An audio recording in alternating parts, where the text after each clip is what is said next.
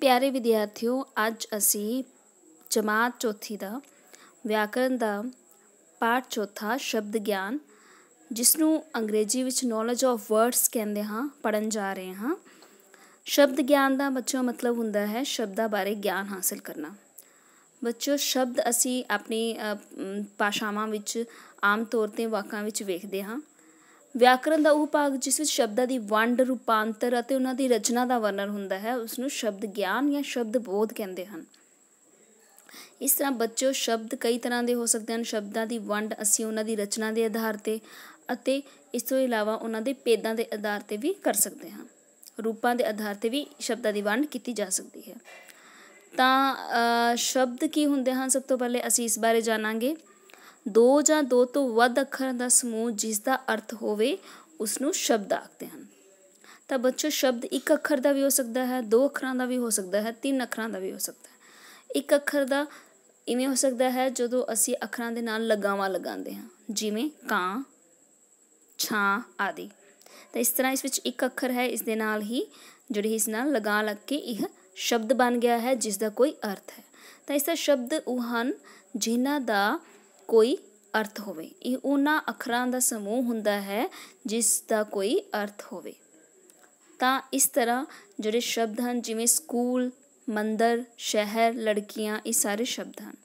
ਇਸ ਤੋਂ ਇਲਾਵਾ ਲక్ష్ਮੀ ਬਾਈ ਭਗਤ ਸਿੰਘ, ਟਰੱਕ, ਪਹਾੜ, ਕਮਲ, ਖੇਤ, ਸੁੰਡੀ, ਬਰਤਨ, ਹਾਕੀ, ਦਰਿਆ, ਇਹ ਸਾਰੇ ਵੀ ਸ਼ਬਦ ਹਨ। ਤਾਂ ਸ਼ਬਦਾਂ ਦਾ ਕੋਈ ਨਾ ਕੋਈ ਅਰਥ ਜ਼ਰੂਰ ਹੁੰਦਾ ਹੈ। ਬੱਚੋ ਜਿਹੜੇ ਪੰਜਾਬੀ ਵਿਆਕਰਨ ਹੈ ਇਸ ਵਿੱਚ ਸ਼ਬਦ ਦੋ ਤਰ੍ਹਾਂ ਦੇ ਹਨ, ਸਾਰਥਕ ਤੇ ਨਿਰਾਰਥਕ। ਸਾਰਥਕ ਸ਼ਬਦ ਉਹ ਸ਼ਬਦ ਹੁੰਦੇ ਹਨ ਜਿਨ੍ਹਾਂ ਦਾ ਅਰਥ ਹੁੰਦਾ ਹੈ, ਜਿਵੇਂ ਰੋਟੀ, ਪਾਣੀ, ਦੁੱਧ, ਕੁਰਸੀ, ਮੋਰ, ਸੰਤਰਾ।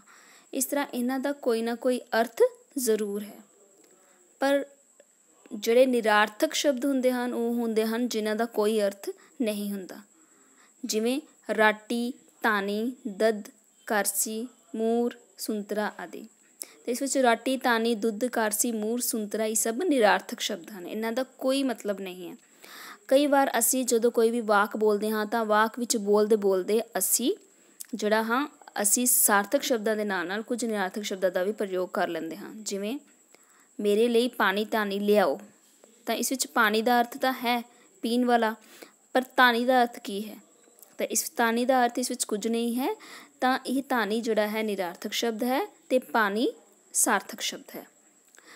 ਤਾਂ ਬੱਚਿਓ, ਜਿਹੜੇ ਨਿਰਾਰਥਕ ਸ਼ਬਦ ਹਨ, ਤੁਸੀਂ ਇਸ ਗੱਲ ਦਾ ਧਿਆਨ ਰੱਖਣਾ ਹੈ, ਨਿਰਾਰਥਕ ਸ਼ਬਦ ਹਮੇਸ਼ਾ ਸਾਰਥਕ ਸ਼ਬਦਾਂ ਨਾਲ ਹੀ ਆਉਂਦੇ ਹਨ। ਇਹ ਇਕੱਲੇ ਨਹੀਂ ਆਉਂਦੇ। ਜਿਵੇਂ ਪਾਣੀ ਧਾਨੀ ਵਿੱਚ ਧਾਨੀ ਹਮੇਸ਼ਾ ਪਾਣੀ ਦੇ ਨਾਲ ਹੀ ਆਏਗਾ, ਇਕੱਲਾ ਨਹੀਂ ਆਏਗਾ, ਕਿਉਂਕਿ ਇਕੱਲਾ ਇਸ ਦਾ ਕੁਝ ਵੀ ਅਰਥ ਨਹੀਂ ਹੋਵੇਗਾ। ਤਾਂ ਜਿਹੜੇ ਸਾਰਥਕ ਸ਼ਬਦ ਹਨ ਜਿਨ੍ਹਾਂ ਦਾ ਅਰਥ ਹੁੰਦਾ ਹੈ, ਉਹ ਅੱਗੋਂ ਵੀ 8 ਪ੍ਰਕਾਰ ਦੇ ਹੁੰਦੇ ਹਨ। ਨਾਵ ਪੜਨਾਵ ਵਿਸ਼ੇਸ਼ਣ, ਕਿਰਿਆ ਕਿਰਿਆ ਵਿਸ਼ੇਸ਼ਣ, ਸੰਬੰਧਕ, ਯੋਜਕ ਤੇ ਵਿਸਮਿਕ।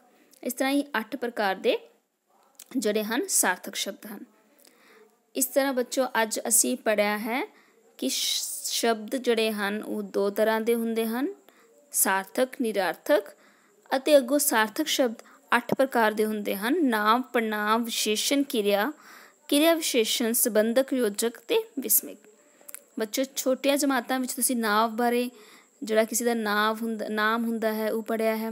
ਪੜਨਾਮ ਜਿਹੜੇ ਨਾਮ ਦੀ ਜਗ੍ਹਾ ਤੇ ਪ੍ਰਯੋਗ ਹੁੰਦੇ ਹਨ, ਉਹ ਪੜੇ ਹਨ। ਵਿਸ਼ੇਸ਼ਣ ਕਿਸੇ ਦੇ ਗੁਣ, ਦਸ਼ਾ ਨੂੰ ਦਰਸਾਉਣ ਵਾਲੇ ਨੂੰ ਵਿਸ਼ੇਸ਼ਣ ਕਹਿੰਦੇ ਹਨ। ਕਿਰਿਆ ਕਿਸੇ ਵੀ ਕੰਮ ਨੂੰ ਕਹਿੰਦੇ ਹਨ।